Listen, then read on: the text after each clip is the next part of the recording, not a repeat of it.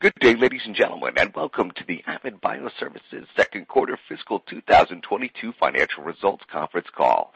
At this time, all participants are in listen only mode. Later, we will conduct a question and answer session, and instructions will follow at that time. As a reminder, this conference call may be recorded. I would now like to hand the conference over to Tim Brons of Avid's Investor Relations Group. Please go ahead.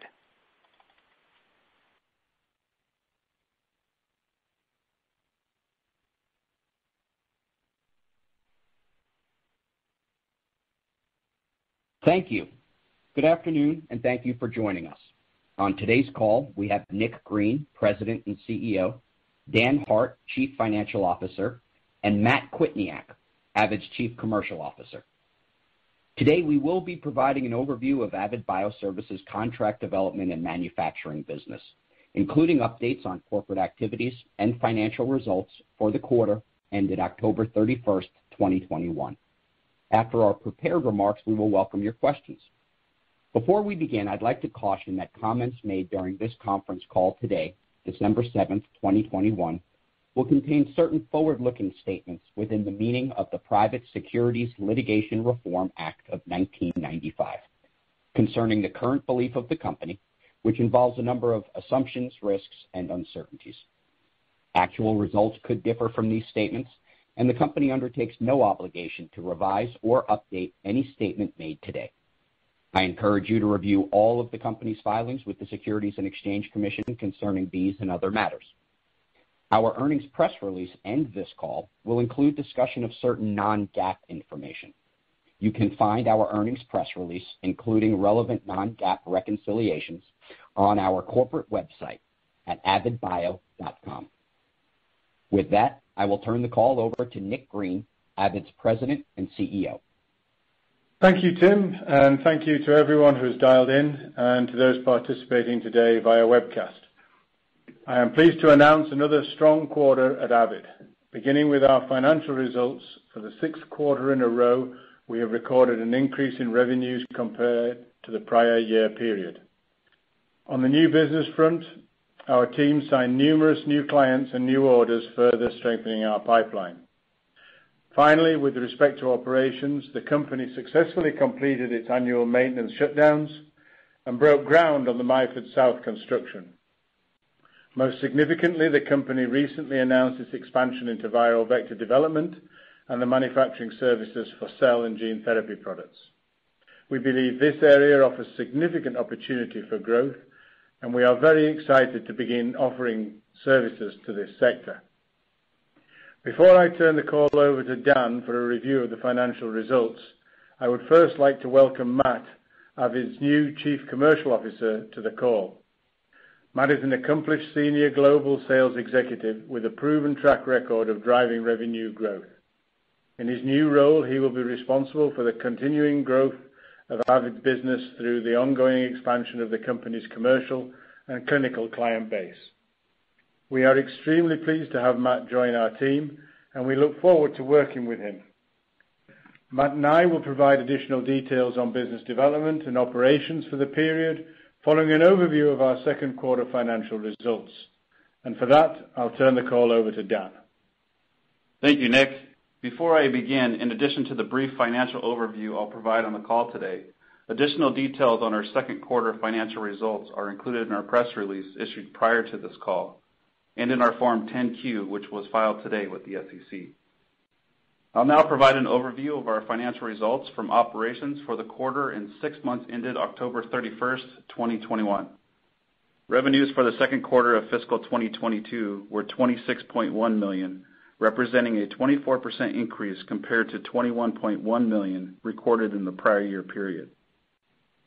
The increase in revenues can primarily be attributable to fees received from a customer during the current year period for unutilized reserve capacity, combined with an increase in our process development revenues, primarily associated with services provided to new customers. For the first six months of fiscal 2022, revenues were 56.9 million, a 22% increase compared to 46.5 million in the prior year period. The increase in revenues for the first six months of fiscal 2022 can primarily be attributable to an increase in fees received from customers for unutilized reserve capacity, combined with an increase in process development revenues primarily associated with services provided to new customers. Gross margin for the second quarter of fiscal 2022 was 35%, compared to a gross margin of 30% for the second quarter of fiscal 2021. Gross margin for the first six months of fiscal 2022 was 36%, compared to 32% for the prior year period. The increases in gross margin for the quarter and the first six months were primarily from higher manufacturing and process development revenues during these periods. While we are pleased to report these improvements in gross margin compared to prior years, we do expect to increase hiring in the coming months to support our growing manufacturing capacity and our new viral vector business, and this may impact margins in future quarters. Total SG&A expenses for the second quarter of fiscal 2022 were $5 million, an increase of 21% compared to $4.2 million recorded for the second quarter of fiscal 2021. For the first six months of fiscal 2022, SG&A expenses were $9.5 million as compared to $8 million for the prior year period. The increase in SG&A during the quarter and the first six months was primarily due to increases in stock-based compensation, facility and related expenses, advertising costs, partially offset by a decrease in payroll and benefit-related costs. For the second quarter of fiscal 2022, we recorded net income attributable to common stockholders of 3.5 million or $0.06 per basic and diluted share, as compared to net income attributable to common stockholders of 800,000 or $0.01 per basic and diluted share for the second quarter of fiscal 2021. For the first six months of fiscal 2022, the company recorded a consolidated net income attributable to common stockholders of 9.8 million or $0.16 and $0.15 per basic and diluted share, respectively, compared to a consolidated net income attributable to common stockholders of $4.5 million or $0.08 per basic and diluted share for the fiscal 2021 period. The second quarter of fiscal 2022 was the company's sixth consecutive quarter of operational profitability, and we are pleased to report that we achieved adjusted EBITDA of 7.6 million during the second quarter and 17.3 million for the first six months of fiscal 2022. Our cash and cash equivalents on October 31, 2021 were 163.7 million, compared to our first quarter balance of 159.7 million on July 31, 2021, and prior fiscal year-end balance of 169.9 million on April 30, 2021. We are updating our previously announced planned capital spend for fiscal year 2022 from $50 million-$60 million to approximately $55 million-$65 million, which now includes anticipated spend on the viral vector facility. This concludes my financial overview. I'll now turn the call over to Matt for an update on business development during the quarter. Hello, everyone. I am very pleased to be participating in my first earnings call as Avid's Chief Commercial Officer. Throughout my career, I have had the good fortune of working with many leading companies in the development and CDMO sectors, and in each role, I've been charged with driving revenue growth and building the business development teams that achieve that growth. I was eager to join Avid because I believe the opportunity to be substantial. And after my first two months on the job, I can say that my enthusiasm has only grown for this company. While the ongoing expansion and the company's move into viral vector manufacturing present significant opportunities for growth in the future, our current team continues to deliver solid results for our existing mammalian cell business. During the second quarter, the business development team signed new project orders totaling approximately 36 million from the new and existing customers. This work will span process development, new projects with existing customers, and additional orders for commercial products. As a result, we ended the second quarter with a backlog of approximately 120 million and expect to recognize most of that backlog over the next 12 months. We are also pleased to report that during the first six months of fiscal 2022, we have signed as many new projects from new and existing clients as we did in the whole of fiscal 2021. We believe this is an early indicator of the trajectory ahead, and the entire business development team is looking forward with great optimism. This concludes my overview of business development activities for the quarter. I will now turn the call back over to Nick for an update on operations and other achievements during the quarter. Thanks, Matt. The company made great progress in operations during the quarter. Most notably, Avid recently announced that the company was expanding its CDMO service offering into the rapidly growing cell and gene therapy market. This decision was driven by continued strong growth in this sector, combined with the CDMO industry's overall lack of proven high-quality cGMP manufacturing expertise and capacity for viral vectors. To lead the company's strategic expansion into this market, we are actively building an industry-leading team of experts with established track records of success in this field. To this end, Avid recently appointed Drew Brennan, an experienced executive from the viral vector sector of the CDMO market, to lead the company's expansion into cell and gene therapy market. Drew most recently spent more than a decade in senior commercial and operational positions at Novasep, where he was credited with driving significant growth of Novasep's U.S. CDMO services business, including the securing of several major viral vector CDMO contracts. In addition, the company recently appointed Eli Hanania as Vice President, Process Development. Eli is a seasoned life science industry executive with more than 30 years of experience in the field of cell and gene therapy. To house this new business, the company is constructing a world-class, purpose-built 53,000 sq ft viral vector development and GMP manufacturing facility in Costa Mesa, California, approximately 5 miles from Avid's existing operations in Tustin, California. Based on current projections, Avid expects the entire new facility build-out to take up to 18 months at an estimated cost of approximately $75 million. The new facility's analytical and process development laboratories are expected to come online more rapidly, with the potential to be operational during the first quarter of fiscal 2023. Given Avid's strong record of quality in manufacturing, our exceptional regulatory inspection history, and our customer-centric approach to business, we believe this company is uniquely qualified to bring these values and skills to the cell and gene therapy sector and look forward to bringing this business online during fiscal year 2023. I'll now provide an update on other operational achievements. As of today, the company has successfully concluded its annual maintenance shutdowns, broke ground on phase two of the Myford South expansion, and tied in the phase one expansion, which we expect to be available to operations by January 2022, as we previously communicated. And we are also scheduling clients into this space during quarter one of calendar 2022. As we've disclosed previously, we estimate that the addition of the viral vectors to the ongoing expansions will bring the company's total annual revenue generating capacity to approximately $350 million. As I hope is evident, the second quarter was highly productive and a transformative time for Avid.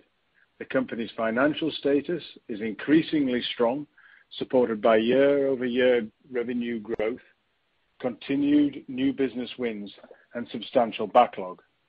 For these reasons, we believe we remain on track to achieve our stated full year 2022 revenue guidance of between $115 million and $117 million. Our business development team continues to perform, signing 36 million in new business during the quarter and ending the period with a backlog of $120 million. And under the new leadership of Matt, we believe our new business opportunities will only grow. Leveraging the company's operational strengths, we are pleased to expand our service offerings into the cell and gene therapy market, and we are confident in our ability to establish an industry-leading viral vector CDMO business. And we are actively building the team and facilities that we believe will drive our success and expand our revenue-generating capacity. Also, during the quarter, we are pleased to have our progress as measured in the value created for shareholders recognized as the company's stock was named for the first time to the S&P SmallCap 600 index. We are honored to join this index, and we believe it speaks to the collective effort of everyone at Avid while building greater visibility for the company with investors and the industry alike. We are pleased with our progress, and we believe that each of our accomplishments during the quarter will facilitate the growth and move us towards our overarching goal of establishing Avid as a best-in-class CDMO focused on biologics. This concludes my prepared remarks for today, and we can now open the call for questions. Operator? Certainly. Ladies and gentlemen, if you have a question at this time, please press star then one on your touch-tone telephone. If your question has been answered and you'd like to remove yourself from the queue, please press the pound key. Our first question comes from the line of Sean Dodge from RBC Capital Markets. Your question, please. Yep. Thanks. Uh, uh, good afternoon. Uh, and congratulations on the success of the new business wins. Um, Nick or or Matt, you touched on it a bit in your prepared remarks, but can you talk a little bit more about the broader demand environment? Are you seeing any noise from supply chain uh, challenges? And then maybe with the um, backlog and then the visibility you may have through your sales pipeline, can you just give us some kind of idea of how quickly you think you can fill uh, the incremental capacity that'll be coming online in the next uh, couple of months here? Yeah, I think, uh you know, with the strong backlog already, Uh, and positive uh, growth with our uh, issuance in the last few months, I think we're going to remain on track for continued growth. Okay. Um, and then maybe, I guess on the forward margin trajectory, there's a couple of different dynamics that'll be affecting you over the coming quarters. Dan, you mentioned Uh, increasing hiring soon, but you also have this new space opening up and generating revenue. Is there any uh, general direction you can give us on how we should be thinking about the trajectory of margins over the next year year and a half? Yeah, I think I'll uh I'll firm up, Sean, with what I've said in the past, that uh, with the current installed capacity, we should see a gross margin that's roughly 30% plus or minus, depending on mix. Moving into the first phase and second phase, for that matter, of the mammalian expansion, we should see a good positive 50%-70% or so margin expansion. Um but that's fully dependent on the mix that comes through, the timing of the revenues and filling that first phase and second phase, and uh you know onboarding the cost. So in general, we should see continued growth as the top line increases. But uh you know just to point out, in the near term, we'll have, uh you know based on mix and the cost associated with bringing on the new facilities and absorbing the depreciation and other costs, including personnel costs, could impact how quick it expands. Okay. And then just to follow on to that, the cell and gene therapy expansion, uh, how quickly will you be hiring to begin to staff that? Or are those kind of more G&A additions at this point, and then we'll start to get to kind of more the facility-specific people, or will those happen, uh, I guess, soon? Yeah. So uh, Sean, it's Nick speaking. Uh I mean I think it's a mixture, to be frank with you. We some of the first people we're bringing in, we've already got people in engineering, uh, obviously, and uh, um, we've obviously got Ellie on the uh, R&D side. But we also, we're looking at bringing in operational people, quality people. We've got to build the quality systems and everything else ahead of uh ahead of opening up manufacturing. But I think you're probably going to see more in the development side of the business as we bring new clients initially into development and then move them into GMP, and that's the way we're bringing the facilities online. So we're bringing the development, hopefully, in quarter one of fiscal 2023. Um, obviously, uh, we said the GMP completion is about an 18-month program, so that'll be somewhat later on after that. Okay. Uh, super helpful. Uh, thanks, and congratulations again. Thanks very much, Sean. Thank you. Our next question comes from the line of Jacob Johnson from Stephens. Your question, please. Uh, hey, good afternoon, uh, everybody. Uh, first, just because I'm getting a number of questions on it, just to get out of the way. On COVID-19, can you just talk about how much of your backlog today is comprised of COVID-19 related work? Um, yeah, I think we're around 15%, roughly, give or take, Jacob, Um, of the backlog. Okay. Uh and then I guess shifting gears to the viral vector build-out. Maybe first, Nick, uh, what kinds of viral vectors will you be manufacturing? Is it AAV, lenti, both? And and then also any interest in getting into plasmids? Um, first question on the vectors. Um, both AAV and Lenti, Eli has a tremendous range, actually. I was Uh, shocked there were vectors that uh, I haven't even heard of, to be frank with you, that uh, he's been involved with in his 30-year history. Not not that I that would surprise anybody, but he's been involved in a large number and a good variation. But clearly, AAV and Lenti adenovirus are the sort of main uh the main throwers of the viral vector market for cell and gene therapy. Um, There will be others, I'm sure. We obviously need then, as we go along, to bring additional expertise around those to support Eli, which we're obviously out there looking for as we speak. So, uh, but um, AAV and Lenti will certainly, uh, I think, be uh, be a key cornerstone of the business. Got it. Uh and then just one last follow-up along the same lines. Nick, can you just remind us the synergies that exist between you know the mammalian capacity and the viral vector business?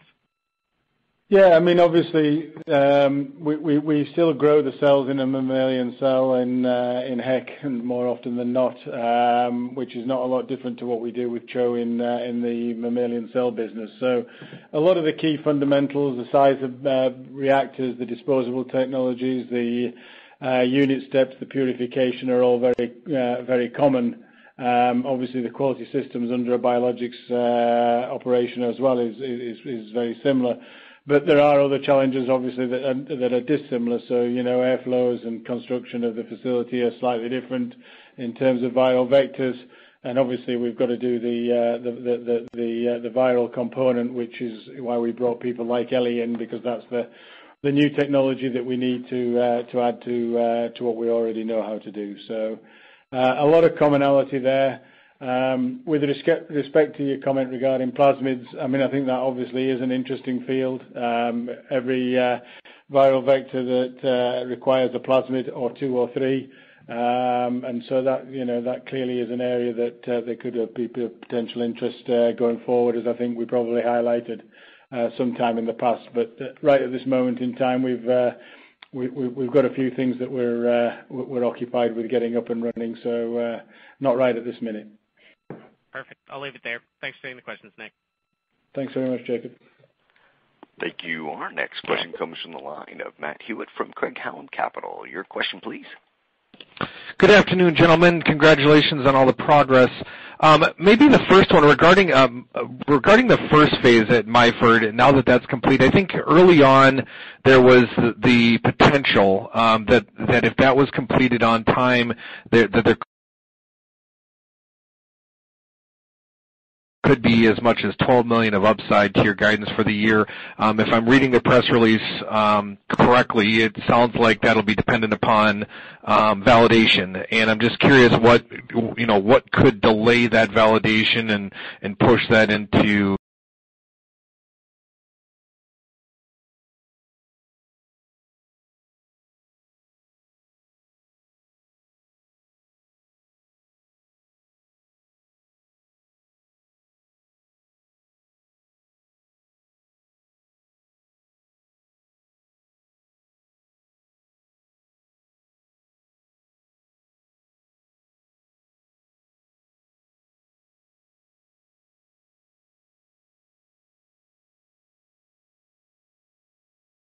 I don't anticipate there being much in terms of validation that would cause us not to be able to do that, to be frank. So um I think the major major issue for us was getting to where we are now, coming out of shutdown and having tied it into the existing operations, which we've done all of that. Um so fundamentally, it's mechanically complete. So I guess the the you know the main thing is there upside and is where you're getting at regarding the forecast. Um and it remains the same as it was before. Yes, there is. Now we've got it on site, obviously we can leverage that, but we've got to have it. Op we have you know, we uh it has to be operational before you can book people in. We are already starting booking people in. in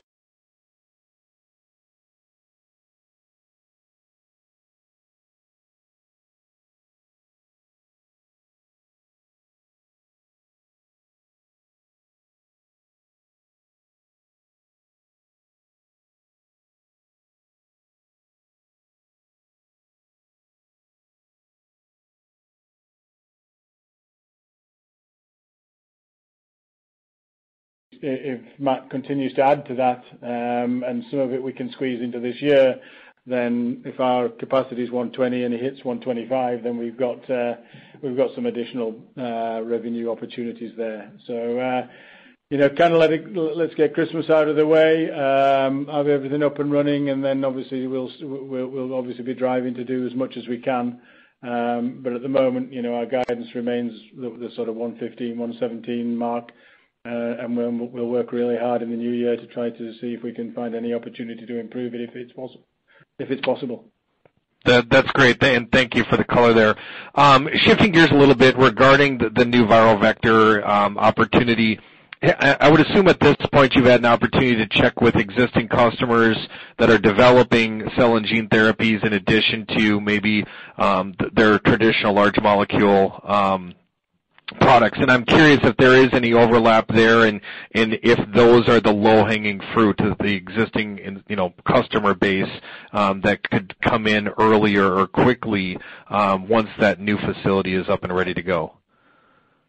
Yeah, I mean I think uh I would say that it's probably not just about going around our new uh our existing customers and the like. Obviously, those would be people that we would go out to and talk to. But to be very frank, the main thrust uh, of the focus at the moment is making sure we bring the right level of expertise in, getting the construction and the design absolutely nailed on, moving that forward as fast as we can, um, and then you know, putting a quality system in. Again, we're here to do this right. That's kind of one of the fundamentals of our business is quality first, um, and making sure that we have a have a real world-class facility, well-equipped with the right level of competence. Um, I think the customer side of it is always a challenge in bringing new business in, but we feel that with that with those things in place, that we'll be able uh, to attract the attention that we need to the facility. Understood. All right. Thank you very much. Thank you. Our next question comes from the line of Paul Knight from KeyBanc. Your question, please. Hey, Dan. What was the uh, contract fees uh, in the quarter just posted? I'm sorry, could you repeat that question, Paul? Effectively. I'm sorry, Paul, uh, could you repeat that question for me? Sorry. Uh, a certain part of the revenue is from uh, manufacturing not performed, but still a charge, a revenue recognition. What was that level in the quarter? That number was roughly $5 million during the quarter. Okay.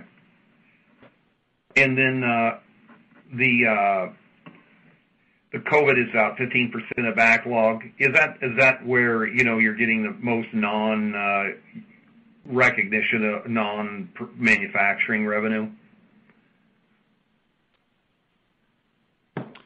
No, most of the non-manufacturing revenue is coming just from the PD side of the house, which is you know the entry point into the mammalian side. Uh, new programs come in and have the PD side, tech transfer, what have you, analytical before it gets to cGMP. Okay. And then that 5 million, what was that a year ago? A year ago, it was the $3.1. Okay, thanks. And then uh, on the uh, cell and gene therapy expansion, how many square feet did you mention, Nick? Uh, 54,000 sq ft, uh, Paul. Um, 75 million in CapEx. Um, you're kind of implying about what, 80 million of potential revenue. That would you view that as kind of a conservative level of Uh, revenue out of a facility of that size? Um, it'll depend on mix, obviously, and uh, capacity utilization. But I think uh, it's one a little early for me to be to be absolutely frank on whether we could squeeze more out of it until we start getting it operational and see the opportunities. But I would be surprised if it was any less, for sure.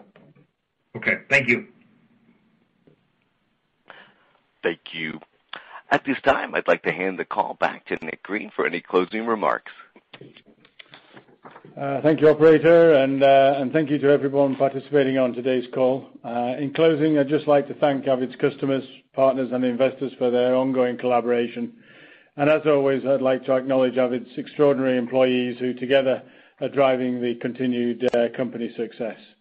Thank you again for participating on the call today and for your continued support of Avid Bioservices. Thank you, ladies and gentlemen, for your participation in today's conference. This does conclude the program. You may now disconnect. Good day.